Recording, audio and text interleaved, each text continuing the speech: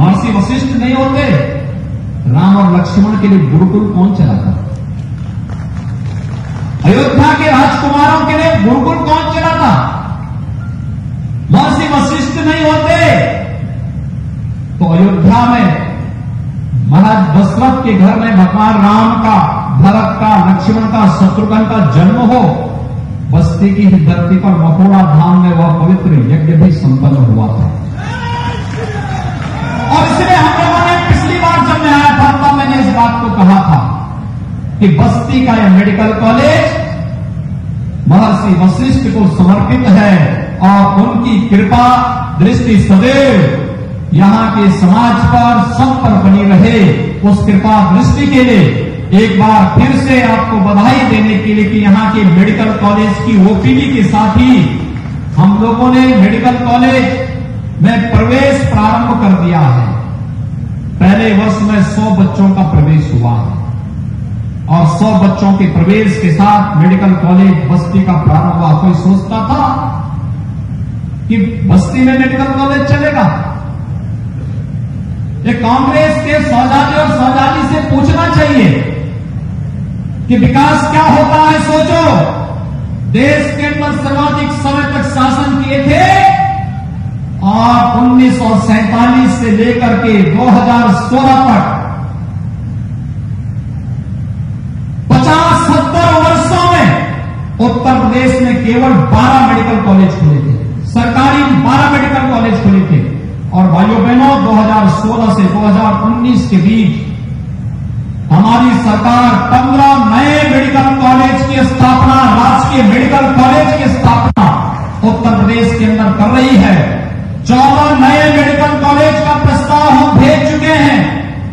गोरखपुर और रायबरेली में एम्स प्रारंभ हो चुके हैं। हर जगह स्वास्थ्य सेवाओं की स्ट्रेंथनिंग की कार्रवाई युद्ध स्तर पर चल रही है।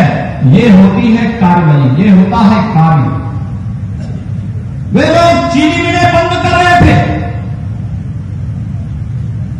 उन्होंने 12 वर्ष में पूर्वांचल की 12 चीनी मिलों समेत उत्तर प्रदेश की 29 चीनी मिलों को बंद किया।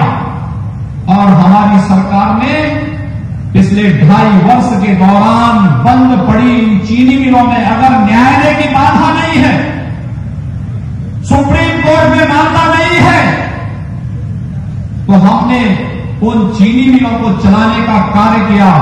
आज मैं यहाँ पर हूँ, पिछले सप्ताह मैं में था। पिछले महीने बागपत के रमाना में था और पिछले वर्ष, इस वर्ष के प्रारंभ में हम लोग मोदीनपुर मेरठ में थे, जहाँ पर जिन चीनी मिलों को नए सिरे से आगे बढ़ाने का कार्य हुआ। पिछले वर्ष में बिजनौर के नजीमाबाद में भी गया था, जहाँ पर चीनी मिल की क्षमता के साथ ही वहाँ पर नई आधुनिकीकरण के कार्य को आगे बढ़ाने का कार्य वहाँ पर किया गया था। चीनी मिलों को गन्ना विभाग ने गन्ना मंत्री के नेतृत्व में युद्ध स्तर पर आगे चलाना प्रारंभ किया। और आज उत्तर प्रदेश, इस उत्तर प्रदेश में छह छह दस दस वर्षों का गन्ना मूल्य का भुगतान बाकी हुआ करता था। उस उत्तर प्रदेश में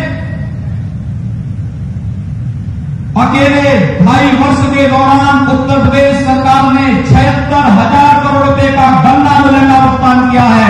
और भाइयों बहनों, मैं आपको आश्वस्त करने के लिए आया हूँ, जो बकाया है पिछली सरकारों के पाप का परिणाम है। लेकिन हम किसान के साथ अन्याय किसी को नहीं करने देंगे। हमने तय किया है, जो चीनी सुविधा देंगे जो चीनी मिले या जिस भी स्तर पर गन्ना किसानों का शोषण होगा, वहाँ पर कुड़की की कार्रवाई करके निलामी की कार्रवाई करेंगे, लेकिन गन्ना किसानों का शोषण किसी को नहीं करने देंगे। एक वे लोग थे जो चीनी मिले बंद करते थे, किसानों पर गोली चलाते थे, किसानों का शोषण करते थे, और एक भारतीय जनता पार्टी की सरकार है। मोदी जी के नेतृत्व में स्वयं हेल्थ कार्ड से लेकर के किसानों के लिए प्रधानमंत्री फ़सल बीमा योजना, प्रधानमंत्री कृषि सिंचाई योजना, न्यूनतम समर्थन मूल्य की योजना, किसान सम्मान निधि की योजना, ये तमाम प्रकार की योजनाएँ किसानों के हित के लिए ध्यान में रख करके की सरकारें किसानों को छह हज़ार रुपये सालाना देने में क्यों विफल विफलती और मोदी जी क्यों सफल हैं नियत, उनकी नियत में खोट था और भारतीय जनता पार्टी नेतृत्व की सरकारों की नियत में कोई खोट नहीं। स्पष्ट दृष्टि है कि हम किसानों, नौजवानों के हितों के साथ कोई खिलवाड़ नहीं होने देंगे। हम बहन और बेटियों की सुरक्षा के साथ किसी को खिलवाड़ नहीं करने देंगे। हम नौजवानों के हितों के साथ किसी को खिलवाड़ नहीं करने देंगे और गाँव के विकास को बाधित नहीं होने देंगे। इसीलिए मोदी जी ने कहा था 2014 में कि सरकार किसी व्यक्ति, किसी जाति, किसी मत और किसी मज़हब की पुष्टिकरण का कारक नहीं करेगी सरकार का कार्य है विकास। गाँव के लिए, गरीब के लिए, किसान के लिए, नौजवान के लिए, महिलाओं के लिए, व्यापारियों के लिए और समाज के प्रत्येक तबके के विकास के लिए हम कार्य करेंगे और विकास किसी प्रक्रिया के साथ आपके द्वारा चुने गए जनप्रतिनिधि आज लखनऊ और दिल्ली में जाकर इस पलक को जगाने का कार्य कर रहे हैं। भाइयों, बहनों, मैं आपको इसलिए भी आभार व्यक्त करने के लिए विशेष रूप से आया। और मेरे मन में बात थी कि भाई छह महीने के पहले ही आभार व्यक्त होना चाहिए। मैं लोकसभा चुनाव के दौरान आया था आपके बीच में। और लोकसभा चुनाव के दौरान तब भी मैंने आपसे कहा था। और आपने मोदी जी के आह्वान पर श्री हरीश द्विवेदी को यहाँ पर भारी मतों से चुनाव जिता करके भेजा। वे सांसद बने। आप सबके प्रति आभार व्यक्त करने के लिए आया हूँ कि आपने भारतीय जनता पार्टी के प्रत्याशी को चुनाव जिता करके भेजा। मोदी जी प्रधानमंत्री बने। कश्मीर में आतंकवाद की जड़ धारा 370 सदैव के समाप्त हो गई सदैव के लिए समाप्त हो गई।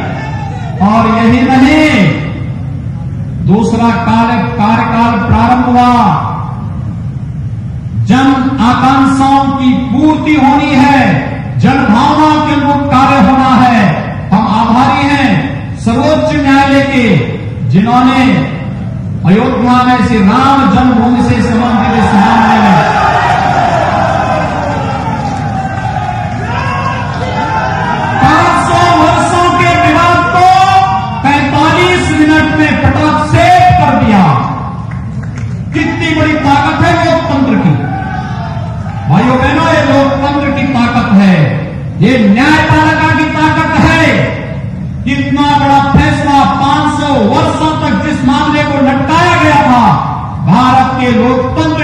ताकत और भारत के न्यायपालिका की ताकत ने दुनिया को एहसास करा दिया है कि भारत की न्यायपालिका और भारत का लोकतंत्र क्या है।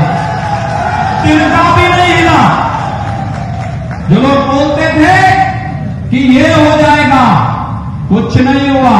सबने कहा कि जय श्री राम सबने तो यही कहा ना भाइयों बहनों ये ताकत है देश की। और इस ताकत में शांति और सौहार्द स्थापित करने में जिन लोगों ने अपना योगदान दिया और सबके प्रति भी मैं आभार व्यक्त करता हूँ सबको सावधान देता हूँ। क्योंकि ताकत हम सबकी सामूहिक ताकत है। आज बस्ती और पूर्वांचल विकास के एक नए दौर से चल रहा है। बस्ती में हमने इस सत्र में मेडिकल कॉलेज प्रारंभ कर दिया है। और अगले वर्ष हमारा प्रयास होगा कि सिद्धार्थ नगर के मेडिकल कॉलेज को भी हम प्रारंभ करेंगे। सिद्धार्थ नगर के हमारे माननीय जनप्रतिनिधिगण वहाँ के सांसद, वहाँ के विधायक डुमरियागंज के, ये सब यहाँ पर उपस्थित हैं। इन लोगों के द्वारा बड़ा प्रयास हुआ था। सिद्धार्थ नगर मानव को पूरा करने में थोड़ा पीछे हो रहा था। तो आप तो जानते हैं कि पाल जी घुमा फिरा करके उस मानव को पूरा करवा ही देते हैं। और वह पूरा हो गया। आज हमने बस्ती के बाद सिद्धार्थ नगर में भी मेडिकल कॉलेज का निर्माण कार्य प्रारंभ कर दिया। आप सोचिए, ये मेडिकल कॉलेज गुणवत्ता युक्त स्वास्थ्य की सुविधाएँ उपलब्ध कराने के साथ ही स्वास्थ्य की सुपर स्पेशलिटी की सेवाएँ भी आपको उपलब्ध कराएँगे। और इसलिए मेडिकल कॉलेज को प्रमोट किया जा रहा है। हमारा प्रयास है कि हर दो जनपद के बीच में एक मेडिकल कॉलेज हो और बस्ती कमिश्नरी में तो तीन जनपद के बीच में दो मेडिकल कॉलेज होने जा रहे हैं। ये प्रक्रिया युद्ध स्तर पर आगे बढ़ रही है और उस प्रक्रिया के साथ ही आज विकास जिस तेज़ी के साथ आगे बढ़ा है, उस प्रक्रिया में जोड़ने के लिए हम लोगों ने यहाँ पर तमाम अन्य कार्यक्रम प्रारंभ किए हैं। अयोध्या में राम जन्मभूमि से संबंधित मामले का समाधान होना और राम जानकी मार्ग का अयोध्या से राम जानकी मार्ग जो बस्ती से होकर के और सीधे सीतामढ़ी तक पहुंचेगा और बाद में जनकपुर तक पहुंचेगा। सीधे कनेक्टिविटी होगी। ये मार्ग बनेगा। अयोध्या, जनकपुर की दूरी कम हो जाएगी। आप सोचिए, त्रेता युग में आज से हज़ारों वर्ष पहले जब भगवान राम विवाह बंधन में बंधे होंगे तब वहाँ से चले होंगे तो आने में उनको समय लगा होगा। लेकिन आज जब राम जानकी मार्ग बनेगा हज़ारों वर्षों की, अपनी इस विरासत को जब हम लोग दुनिया के सामने रखेंगे तो मात्र तीन से चार घंटे में जनकपुर से अयोध्या की दूरी पूरी करने में मदद मिलेगी। और यही नहीं, जनकपुर में भी एयरपोर्ट है और अयोध्या में भी हम लोग एक बड़ा एयरपोर्ट बनाने जा रहे हैं। बड़ा एयरपोर्ट पैसा दे चुके हैं, पहले 200 करोड़ रुपए पहले दे चुके हैं। बड़ा एयरपोर्ट बनाओ अयोध्या में। अयोध्या में महाराज दशरथ के नाम पर एक मेडिकल कॉलेज सत्र में प्रारंभ कर चुके हैं लोग वहाँ भी एडमिशन करवा चुके हैं। भाइयों, बहनों, ये विकास है और इस विकास के साथ हम सबको जुड़ना होगा। और जुड़ने की प्रक्रिया के साथ जब हम आगे बढ़ेंगे, अच्छी सोच के साथ आगे बढ़ेंगे विकास के लिए सकारात्मक सोच चाहिए। जिनकी नकारात्मक सोच थी, उन्होंने बंद कराया। जिनकी सकारात्मक सोच थी, वे चालू करा रहे हैं, चीनी मिलों को प्रारंभ करा रहे हैं, बंद पड़े उद्योगों को आगे बढ़ा रहे हैं। विकास की सकारात्मक सोच ही जीवन में खुशहाली ला सकती है। और उस सकारात्मक सोच के साथ आगे बढ़ाने के लिए मैं आप सबका आह्वान करने के लिए आया हूँ। बहुत बड़ी ज़िम्मेदारी है बहुत बड़े कार्य करने बड़े बड़े कार्य करने हैं। और इसलिए शासन की योजनाओं को ईमानदारी के साथ लागू करने में आप सबका योगदान। लोकतंत्र में जनता जनार्दन के रूप में है तो अपनी इस ताकत को पहचानो। किसी को गलत मत होने दो, गलत मत करने दो। लोकतांत्रिक तरीके से अपनी बात को उचित मंचों पर रखें अनेक कार्यक्रम चलाए गए हैं इन कार्यक्रमों में जन सहभागिता अगर हो जाए तो भाइयों बहनों बहुत बड़ा कार्य हो सकता है, बहुत बड़ा कार्य हो सकता है। जन सहभागिता किसी भी कार्य को कई गुना आगे बढ़ा सकती है। और मैं आह्वान करूँगा आपका, प्रधानमंत्री जी ने आह्वान किया है, स्वच्छ भारत मिशन का आह्वान किया था।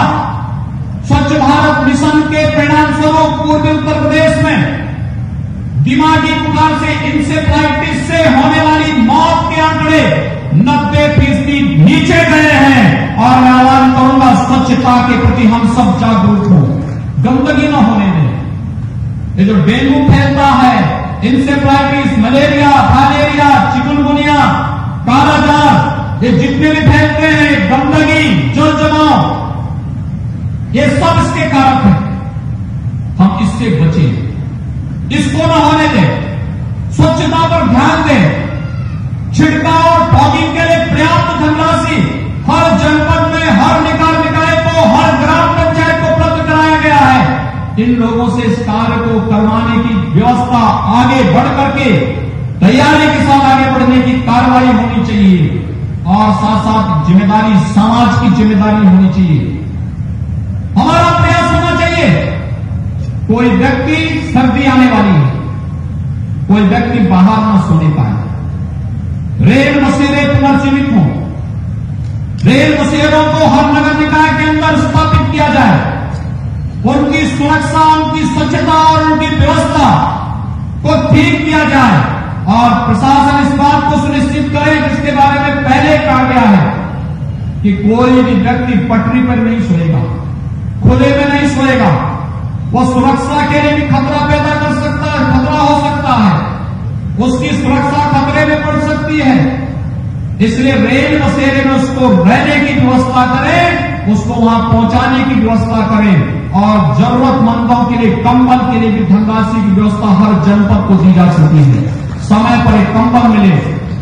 हमने बेसिक शिक्षा परिषद में एक करोड़ अस्सी लाख बच्चों के लिए स्वेटर की धनराशि हर जनपद को उपलब्ध कराई है। और यही नहीं मुख्यमंत्री कन्या सुमंगला योजना के अंतर भी कन्या के जन्म लेने के साथ ही डिग्री या डिप्लोमा कोर्स में प्रवेश लेने तक पंद्रह हज़ार रुपये उस कन्या को प्राप्त हो अलग अलग स्टेजेज में। इसकी व्यवस्था को भी हमने लागू कर दिया है और मुख्यमंत्री सामूहिक विवाह योजना में यह भी व्यवस्था सुनिश्चित कर दी है कि हर कन्या को जो गरीब कन्या है इक्यावन हज़ार रुपए सामूहिक विवाह योजना में प्रदेश सरकार उस कन्या के लिए उपलब्ध कराएगी और आपके जनपद में भी व्यवस्था होगी सचमुच कन्यादान एक महादान है। एक बेटी की शादी किसी सदग्रस्त के लिए कई यज्ञों का फल होता है। और भाइयों बहनों, जहाँ सामूहिक विवाह में एक कार्यक्रम वहाँ पर तो कई यज्ञों का फल स्वतः ही प्राप्त हो जाता है। हमें इन आयोजनों को और अच्छे ढंग से प्रमोट करना चाहिए, आगे बढ़ाने में अपना योगदान देना चाहिए। समाज की सेवा का जब इन कार्यक्रमों के साथ जुड़ेगी, बहुत तेज़ी के साथ एक कार्यक्रम आगे बढ़ेंगे और उस प्रक्रिया के साथ हम जुड़ेंगे। वृद्धजनों को पेंशन की सुविधा मिले। पात्रता की श्रेणी में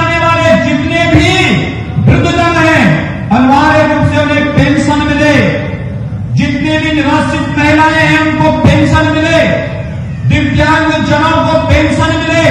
सरकार ने पहले से ही युद्ध स्तर पर इस कार्यक्रम को आगे बढ़ाने की कार्रवाई आगे बढ़ाई है। साथ ही साथ हम इस बात के लिए भी पूरी प्रतिबद्धता के साथ आपको कहना चाहते हैं। निराश्रित गौवंश के लिए योजना चली है। और मैं चाहूँगा आम जन इसमें सहभागी बने। हमने तय किया है, हर जनपद में, हर नगर निकाय में निराश्रित गौवंश के लिए सरकार भी गौशाला चलाएगी। और जियो टैग करके अगर निराश्रित गौवंश है, कोई किसान अपने घर में ले जाकर के उनका पालन करना चाहेगा, हर गौवंश के लिए नौ सौ रुपया महीना सरकार उस किसान को देगी। कितना बड़ा कार्य है। हम इस अभियान के साथ जुड़े, किसानों को इसके साथ जुड़ना चाहिए। गौवंश की नस्ल सुधार की दिशा में बड़ा कार्य हो रहा है। उस दिशा में भी एक प्रयास हम सबको जुड़ना चाहिए। हम इस कार्यक्रम के साथ जुड़ेंगे अनेक रोज़गार की सुविधाएँ और घर में बैठे ही ऊर्जा का एक नया स्रोत आपको प्राप्त हो जाएगा। उस प्रक्रिया के साथ हम सबको जुड़ना चाहिए।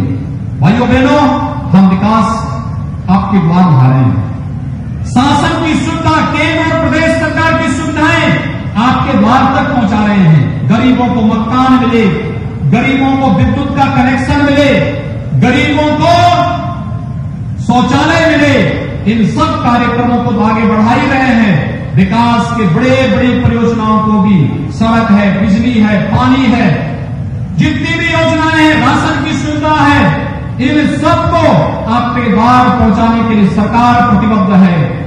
विकास में बड़े बड़े परियोजनाएँ, कहीं चीनी मिल चल रही है, कहीं खाद कारखाना चल रहा है, कहीं पर कोई नया उद्योग बन रहा है, कहीं मेडिकल कॉलेज बन रहा है, कहीं हाईवे और एक्सप्रेस वे बनाए जा रहे हैं। ये विकास एक नई, खुशहाली आम जन के जीवन में लाने में योगदान देगी। आप सबसे मेरी अपील है, और वो अपील है कि जैसे सरकार विकास के लिए और लोक कल्याणकारी योजनाओं को आप तक पहुँचाने के लिए प्रतिबद्ध व्यक्तता व्यक्त कर रही है, वैसे ही धरती माता के स्वास्थ्य की चिंता आपको और हमको सबको सामूहिक रूप से करनी है। स्वास्थ्य हेल्थ कार्ड की व्यवस्था इसीलिए लागू की गई थी। हम अनावश्यक रूप से केमिकल और फर्टिलाइज़र खेत में न डाले। ये खेत की उर्वरता को नष्ट कर देता है। और मैं आपसे एक और अनुरोध करूँगा, खेत में पराली भी न जलाए। खेत में गन्ना की पत्तियों को भी न जलाए। खेत की उर्वरता पर इसका विपरीत असर पड़ता है और पर्यावरण पर भी इसका विपरीत असर पड़ता है। क्या मेरे साथ आप सहमत हैं?